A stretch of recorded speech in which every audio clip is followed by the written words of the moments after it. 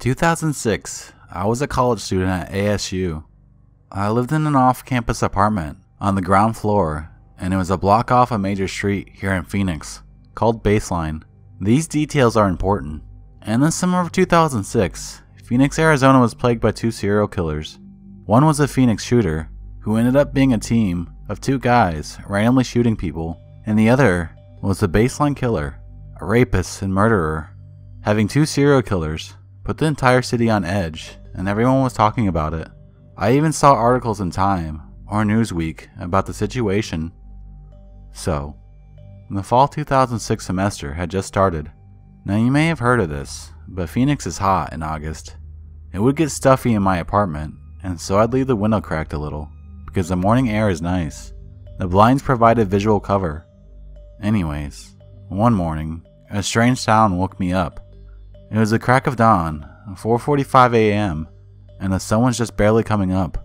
The sound was a tapping sound, and it seemed intentional, but I thought it could be a bird or some branches or something trivial. I ignored it, and it went away for a bit. After about 90 seconds of silence, the tapping returned, and it was absolutely purposeful. In my mind, I thought it was my boyfriend, who thought it was cute to try and scare me sometimes. I decided I'd be a bit of a brat and make him wait, but I was also getting really angry. How dare he pull a prank when I'm trying to sleep? This is just like him. I'm gonna give him a piece of my mind about disturbing my sleep like this.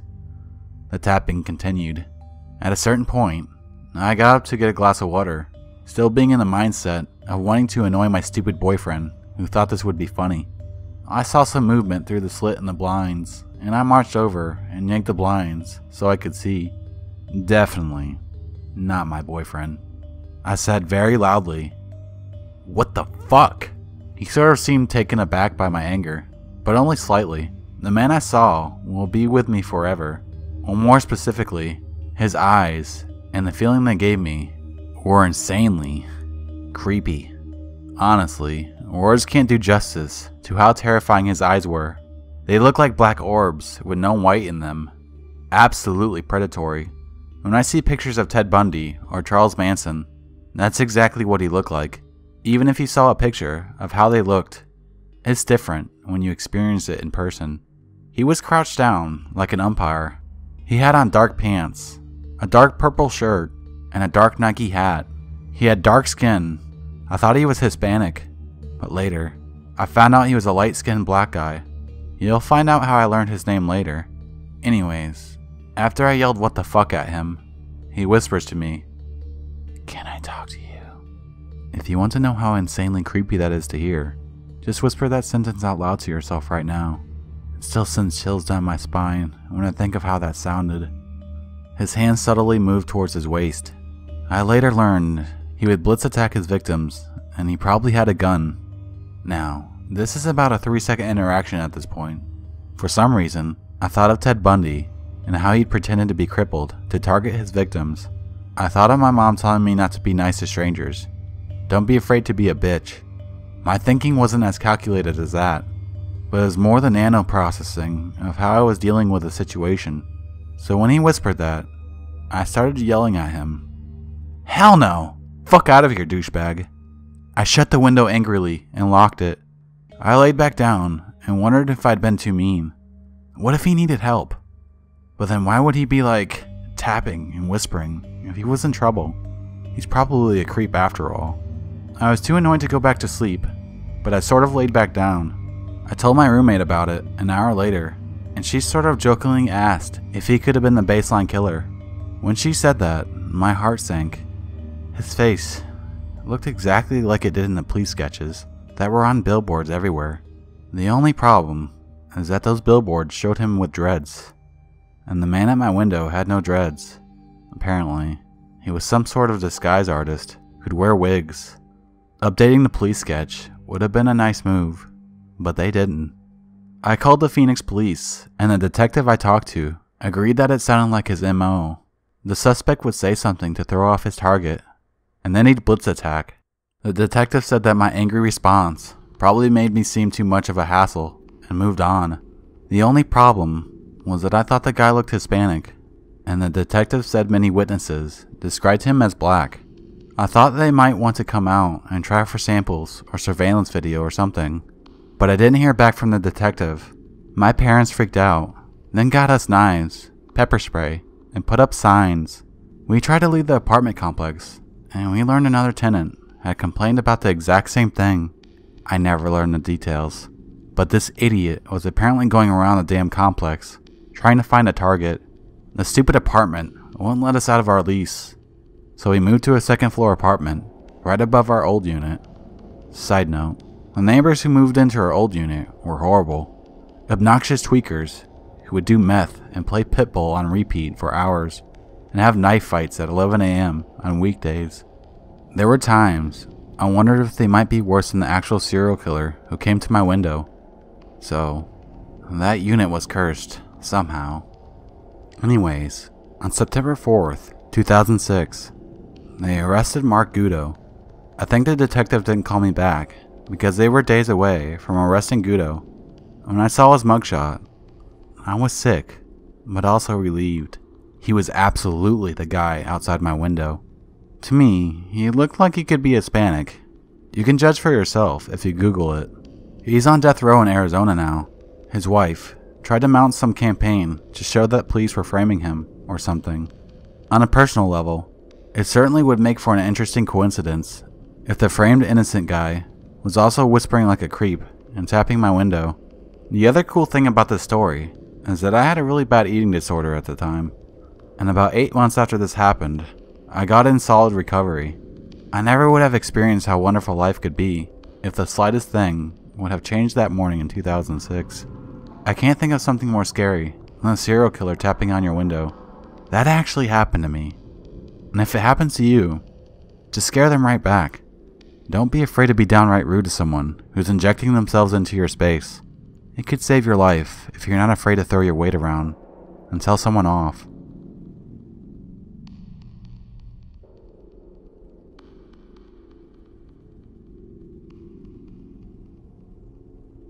This happened about two weeks after I bought my first home, in December of 2010. I was 22 and this was the first time I had ever lived alone. About 9 to 10 days after moving in, I adopted a dog my sister and mom saw at a local shelter. An abused, breeding male cocker, matted hair down his spine and everywhere else, 12 pounds underweight and wormy. I named him Jack Donahue, and he's still sleeping next to me today as I type this. The house I bought wasn't in the best neighborhood, but it backed up to an elementary school's playground, and cameras faced my backyard. It was a day or two before Christmas, so my office was closed and I was home. The way my home was set up, to the right of the fridge was a window looking out to my front porch, with my front door at a 90 from the window. This is where my kitchen table was. If you were in the middle of the kitchen and look left, there was a second living room and side door with a half a window. It was the only window I hadn't installed blinds on. You could not see the kitchen table from the side door. So I'm sitting at the table, looking through mail or something, and a shadow passes over my papers in front of me. The blinds were closed, but if you were on my front porch, you were so close to the window, your body created a shadow. I do not know why, but I felt uneasy. No one should have been there, so I dropped off my stool to the ground and kind of peeked at the crack in the blinds. There were two men I didn't know on my porch. One was really big, wearing a white shirt and jeans, but I never saw his face because he was facing my front door. The other was wearing a red baseball cap and a really, really baggy red shirt. Honestly, at first I thought they may have a legit reason to be there. I'd already had one guy looking for his dog, but I hear the big one say, Fucking go around, man. The red shirt guy walks away, and I lose sight of him. I lean to my left and saw red shirt come up to my side door. Alright, this is scary for me now. Then suddenly, they both start slamming their hands into both my front door and my side door, just pounding so hard that my tiny little house was shaking. That's when the sweet, little underweight Cocker Spaniel, that I hadn't even had for a week, loses his ever loving mind, starts baring its teeth, runs directly at the side door because he can see the guy. Just the loudest barking I've ever heard from him to date. Redshirt yells, Holy shit! She got a fucking dog! and tears off running, Big Man following behind. I was so grateful to Jack. If he hadn't been there, those guys would have made it in. It was an old little house, built in 55, and still had single pane windows. I filed a report with the police, but never heard anything back regarding the men, which was okay, because to my knowledge, they never came back. I've moved away five years later. Jack saved me from something bad that day. He's been treated like a prince ever since. Honestly, he's the gentlest dog anyone's ever met. Even bucks the traditional Cocker Spaniels not liking children idea. But I think he knew I was his person from day one, and nobody was gonna mess with his human. So, white and red shirt dude, let's not meet. Cause Jack is still here, and will tear your asses up.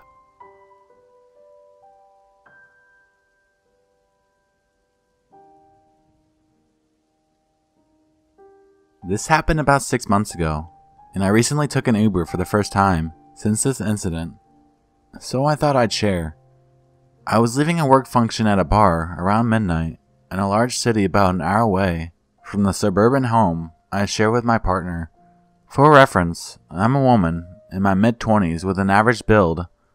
Not tall, not strong, definitely not threatening in any way, and I was a bit buzzed that night. I'm talking like three drinks, so not incapacitated in the slightest.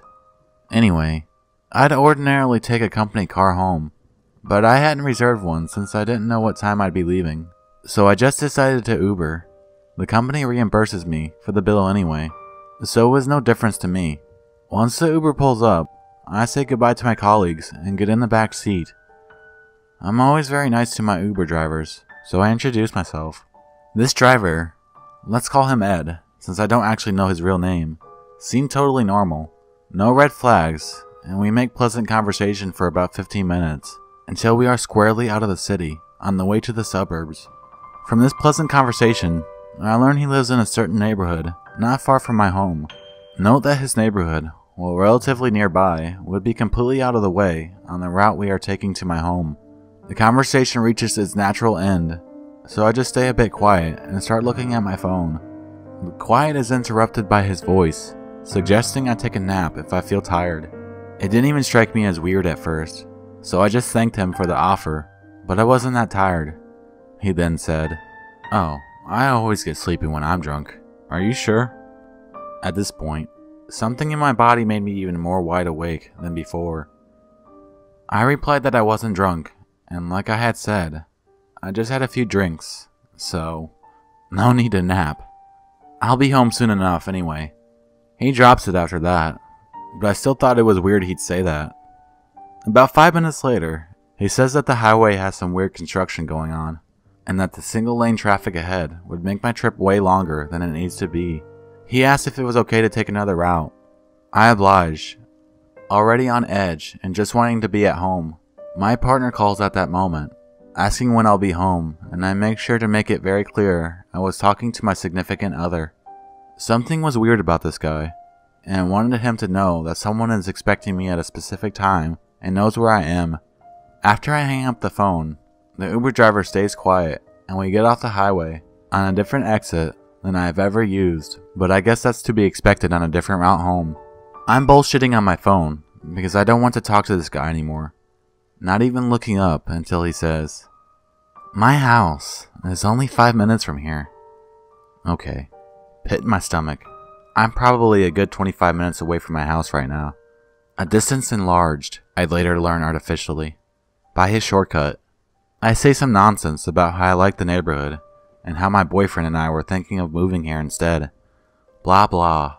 Basically anything I can think of to make it seem like I don't think this is weird and I'm not picking up any signals. Surprisingly, he doesn't say anything in response, and now starts driving on a road in a direction I knew led to my house. Phew. Crisis averted, right? Except not really. 15 minutes to go. My surroundings are more familiar. Just as I'm starting to feel more at ease, he starts asking questions about my boyfriend. What does he do? How long have you guys been together? And other seemingly normal questions. Finally, with about 10 minutes to go, he asks if my boyfriend makes me happy. He does very much, so I gush a bit and say, Yes, he makes me very happy.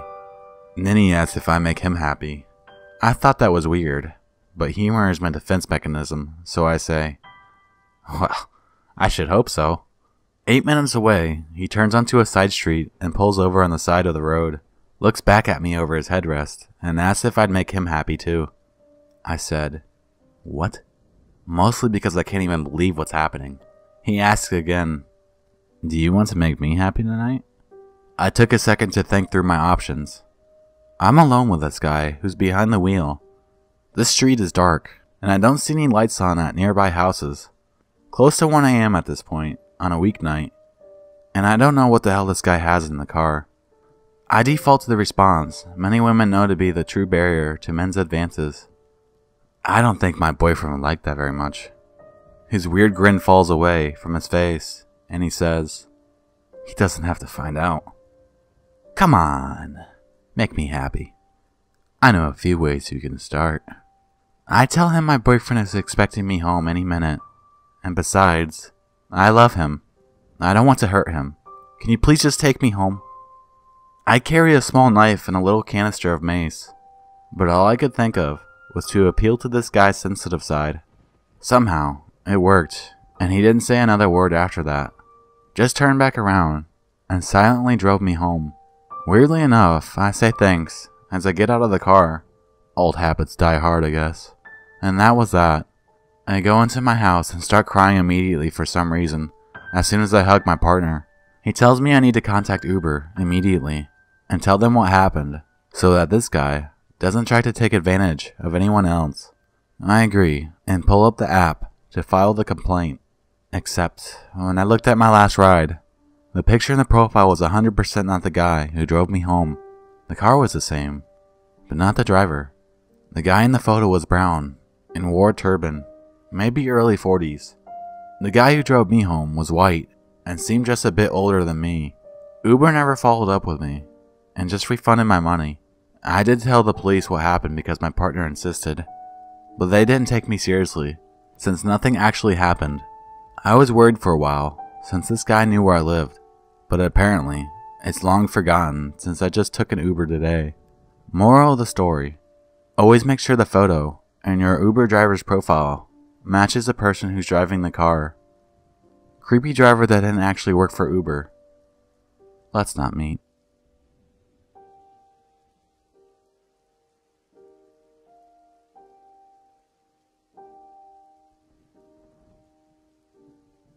I was driving home when I realized the truck had been behind me for miles.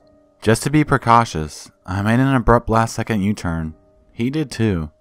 It was there that I realized he was following me. While on the phone with 911, I made sharp turns and ran red lights to try to lose him. He wouldn't stop, literally almost hitting my car a couple of times as he sped up, trying to catch up. The 911 operator instructed me to go to a local grocery store and wait for the police. I parked right in front of the store's entrance, surveillance cameras, and waited. He decided to park his car at a distance and waited for me to get out of my car. All of a sudden, I heard a hard knock at window. I freaked out and it turned out to be the grocery manager, letting me know 911 just notified him of the situation. He asked if I wanted to go inside the store and he would protect me until the cops arrived. I honestly feared the worst and told him no. I was shaking but I thought this maniac might have a gun. He could shoot me and everyone in there. Cops arrived and luckily cornered him in the back of the parking structure. I was shaking as they came to my car, my hand gripping the wheel very tightly. They arrested him soon after for a third DUI, and police filed a report. I didn't know who he was. Apparently, he lived a couple of miles away from me. Unfortunately, two months later, I received a letter to notify me that I may be subpoenaed. I call the DMV, who issued the letter, and they notify me that not only is he free again, but that my information, including my address, were on the police report that was provided to him and his attorney. Thanks, LAPD. I now live in fear. He may come any day and hurt me.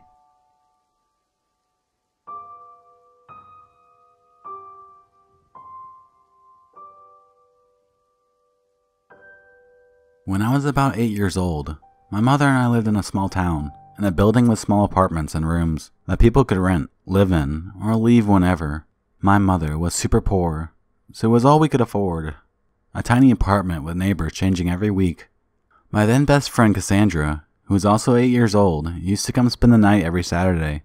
We would usually go play in the long corridors of the building, in the same floor as our apartment, and if it wasn't cold and rainy, we'd go out into the parking lot to play.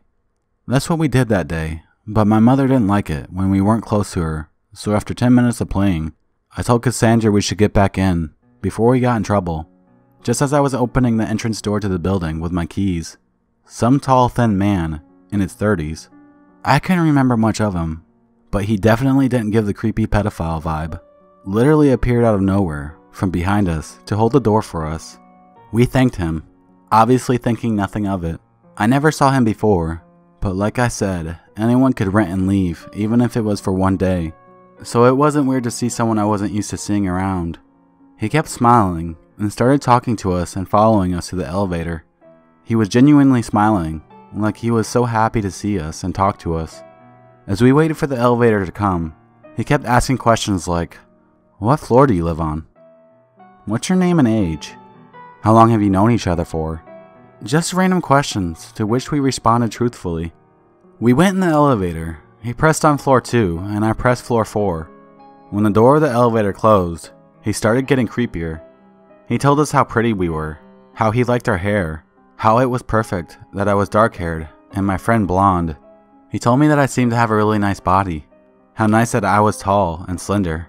This didn't come across as weird or creepy to my 8 years old brain because a very friendly old female neighbor that used to live next to us always told me how I should model for kids' clothes, and she used to say how she wished she had my body when she was younger. So him giving me compliments about my body wasn't a red flag. I smiled and thanked him. Floor 2 was his floor. The elevator opens and he prevents the door from closing again. No one was around. Now I was starting to think that he was being weird. He told us that he worked for TV and he was a photographer for magazines. He said he was quite reputed, and that he dealt with models, celebrities, etc. He said that he thinks we have potential, and that's why he complimented us. He said he'd take pictures of us in a bikini and cute little dresses. My friend was excited about it. I was too, but for some reason, I was very skeptical. He told us to follow him to his room, and we'd see how he wasn't bullshitting us. That he'd show us his professional camera, and he said he was used to taking pictures of kids and that he made some of them very popular. He said he had candies and toys we could keep. I said that I should talk to my mother first. He said, No, don't tell your parents. Parents want you to stay in school. Only tell them after I take pictures and videos of you two, and when your parents see them and you become popular, they will be okay with it. That's exactly what he said. I remember every single word, and I am 23 years old now. The whole, I made kids popular before your parents will see the pictures and videos. You'll be on the TV and magazines thing. Sounds very creepy and sinister now that I know what he actually was. Before I could say anything else, my friend walked out of the elevator and told me to come. He was grinning at me and he said, Come on. It would be a shame if your friend got famous and not you. And we ended up following him to his room because of my friend.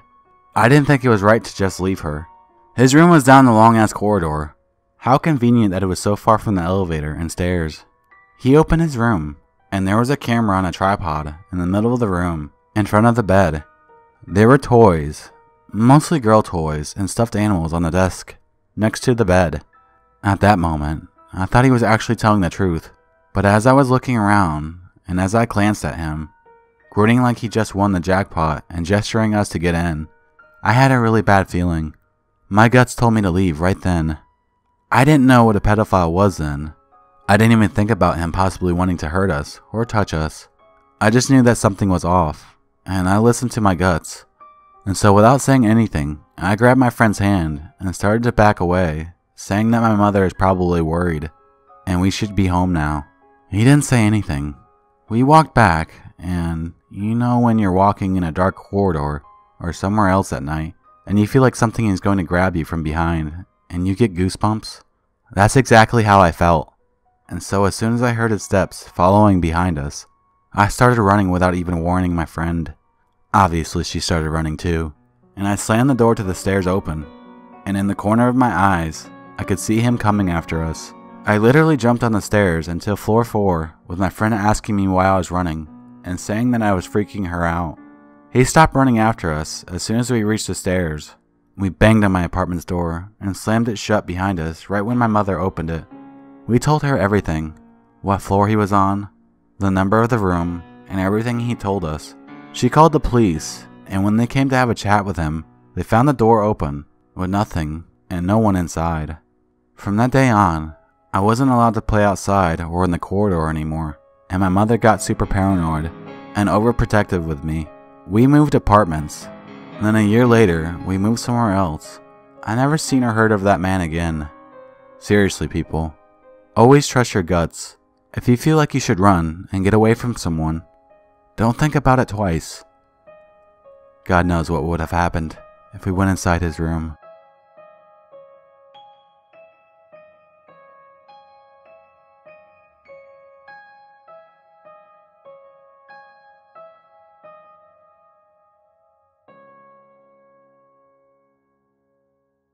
First one going back to August 6, 2005, 48th Street and Baseline. Two girls are sexually assaulted behind this church. In September, a 19 year old woman is killed and two sisters raped. Then, on September 28th, a mother and her young daughter are abducted in their car outside a Mexican restaurant on Central Avenue near Baseline. Both are sexually assaulted. The violence continues to escalate from December to March. Five more people are killed. And one of the drivers walked up to me and he said, Did you hear what happened to your wife? And that's when I kind of like lost it. Romelia Vargas and her cook were brutally murdered inside their food truck by killer Mark Goudeau. The couple had four month old twins at the time.